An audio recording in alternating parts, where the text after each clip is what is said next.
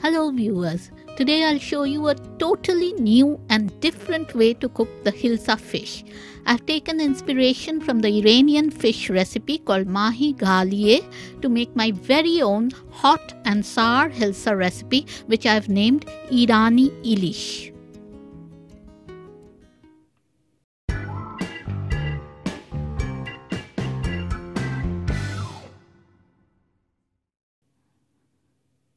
For this recipe, I'll need 5 Ilish fish pieces. As you can see, some of them have eggs in them as well. Hurrah! I love fish eggs. I'll also be using fresh fenugreek or methi leaves, which are essential for this dish, as well as fresh coriander leaves. Here is a close-up of the methi leaves. You need to chop both the herbs up as shown here. I'll also need one diced white onion, 4 to 5 cloves of roughly crushed garlic, 1 teaspoon each of turmeric and red chili powder, 4 tablespoons of tamarind paste or tetul paste. Let's season the ilish pieces with a bit of salt, turmeric and red chili powder. Massage it all into the fish and let the fish rest for 20 minutes. Then heat some oil in a pot and shallow fry the ilish pieces as I'm showing you here. The fish needs to be nicely golden all around. So flip them over after 2 to 3 minutes to fry the fish on the other side too. Then take them out. And that's all the fish shallow fried. In the same pot, add the diced white onions and fry them for 2 minutes.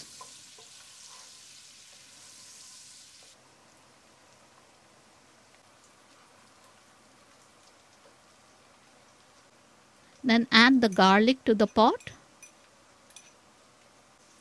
give the pot a good stir. Then add the methi and coriander leaves into the pot and fry for a minute.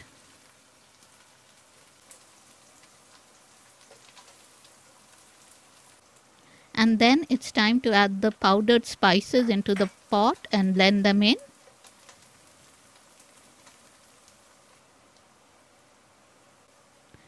Then add salt according to your taste and mix it in.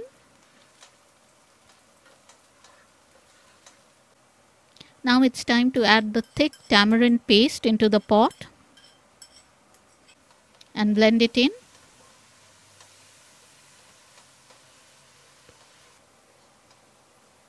You should fry only for uh, half a minute and then add a bit more water into the pot to blend everything together.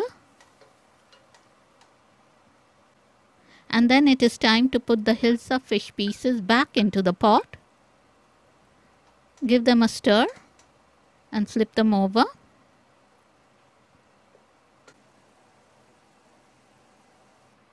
Then add a bit more water to help the fish cook through. Then put the lid on and let the pot simmer away for 15 minutes. Make sure you turn the fish over after 10 minutes. And after 15 minutes, you can see that the hilsa fish pieces have cooked through and our very special Irani ilish mach is ready. Let's plate up this very unusual and different hilsa fish curry. As you can see, it looks totally different from traditional Bengali fish curry dishes. Garnish with a sprig of fresh methi or fenugreek leaf, the star ingredient for this recipe, and serve with chelo, the Iranian word for rice, for a truly delicious meal.